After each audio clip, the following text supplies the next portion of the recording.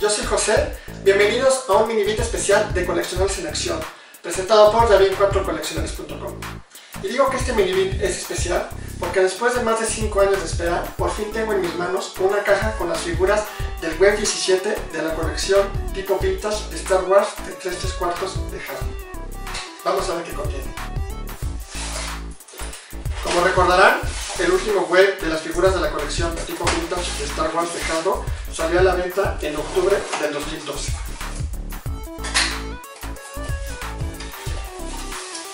La caja incluye 8 figuras.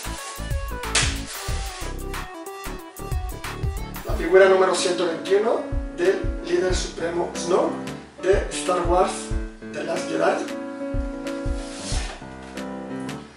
La caja número 117, la figura 117 de Kylo Ren de Star Wars Force Awakens.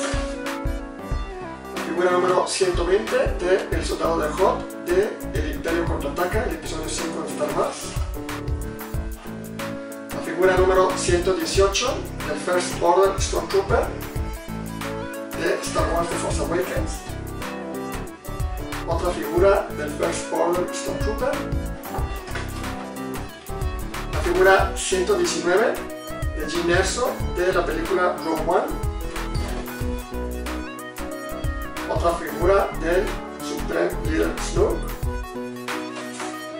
Y finalmente la figura 116 de Rey de la película Star Wars The Force Awakens.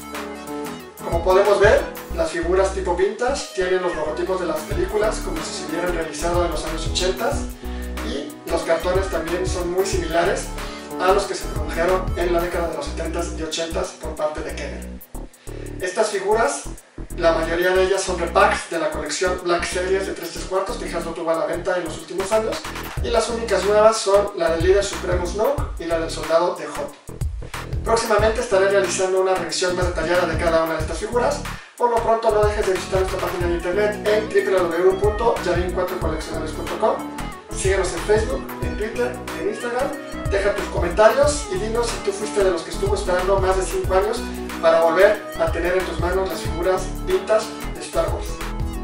May the Force be with you.